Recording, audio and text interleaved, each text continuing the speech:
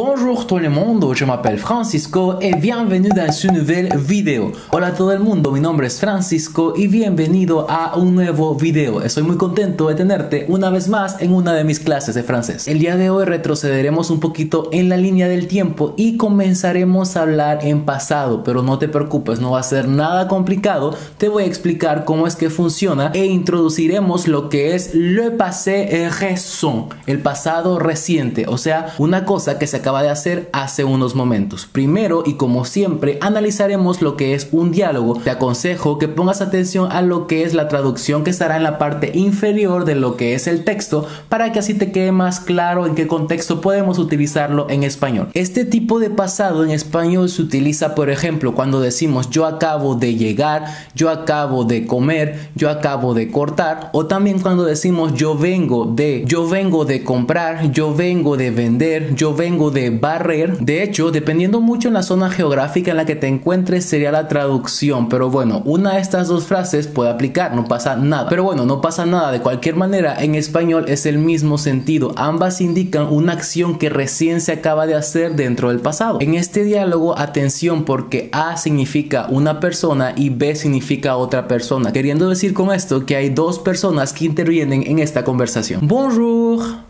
¿Cómo tu vas? Bonjour. Comment tu vas? Je vais bien, merci. Je vais bien, merci. Qu'est-ce que tu viens de faire? Qu'est-ce que tu viens de faire? Je viens de manger. Et toi? Je viens de manger. Et toi? Je suis avec mes parents. Nous venons de faire le ménage. Je suis avec mes parents. Nous venons de faire le ménage. Ah, ma mère vient de faire le ménage aussi. Elle est très fatiguée. Ah, ma mère vient de faire le ménage aussi. Elle est très fatiguée. Bof, nous sommes très fatigués aussi. Nous sommes très fatigués aussi.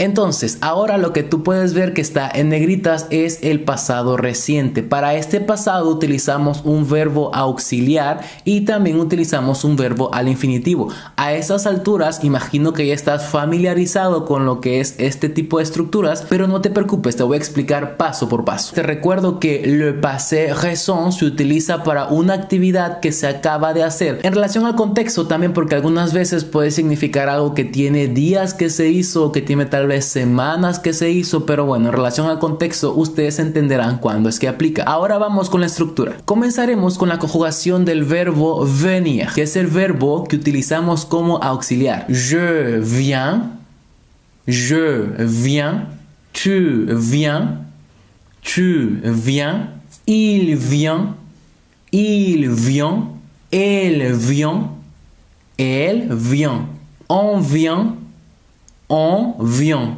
Nous venons, nous venons. Vous venez, vous venez. Ils viennent, ils viennent.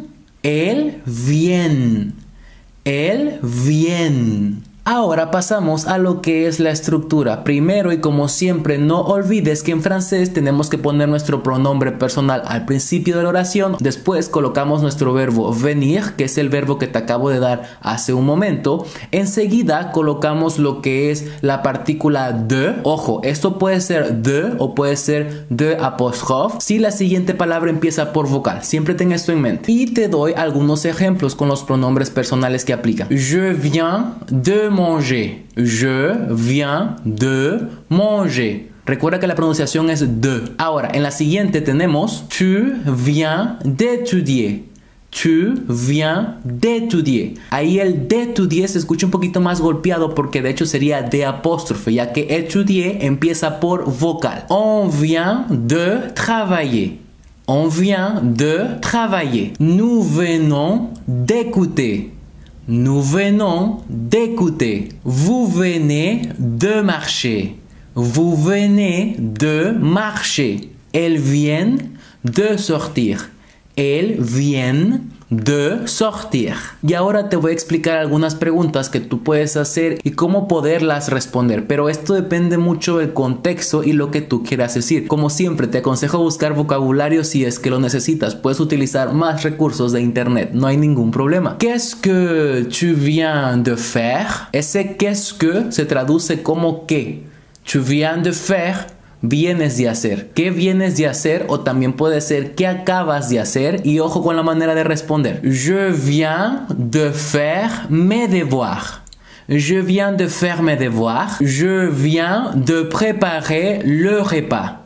Je viens de préparer le repas. Je viens d'acheter sur Internet. Je viens d'acheter sur Internet. Je viens de regarder un film. Je viens de regarder un film. Y ahora pasamos a preguntar lo que una tercera persona acaba de hacer. Ojo con la pregunta. Qu'est-ce que ta mère vient de faire? Qu'est-ce que ta mère vient de faire? Aquí el ma mère está sustituyendo a el pronombre personal él. Es como si dijésemos elle vient de, pero en lugar de decir él, decimos ma mère vient de. Ma mère vient de cuisiner. Ma mère vient de cuisiner. Y ahora, para no estar repitiendo a cada rato ma mère, ma mère, ahora lo cambio por él. Elle vient de faire de l'exercice. Elle vient de faire de l'exercice. Elle vient de faire la lessive. Elle vient de faire la lessive. Y atención con el pasado reciente. Normalmente no es tan utilizado. Bueno, sí se utiliza, pero depende mucho del contexto. Recuerda que es para una acción que se acaba de hacer. Una acción que tú acabas de realizar. Es importante que lo tengas en mente porque para esto funciona el pasado reciente. Como su nombre lo dice, es algo que acaba de pasar y algo que tú o una tercera persona acaba de realizar. Y bien, creo que sería todo por el video de hoy. Espero que hayas aprendido algo nuevo, pero recuerda que el siempre es practicarlo. Entre más lo practiques, más oportunidades tienes de aprenderlo. Y te aconsejo que veas series, escuches música, escuches tal vez noticias o en este caso que leas cosas de tu interés. Nos vemos hasta la próxima. Ale, chao, chao, chao.